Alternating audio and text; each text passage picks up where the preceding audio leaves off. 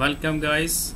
Now I will uh, start to explain about the front sheet of the drawing. We have already a basic understanding about the drawing so let's start with the front page.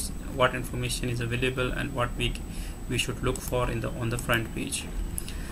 So on the front page uh, uh, information regarding in, uh, client consultant contactor project name document number revision number etc is available on the main drawing page. So let us check the uh, okay this is the front page. As I told you this is the example. Uh, first you can notice here that this front page is also divided into some addresses.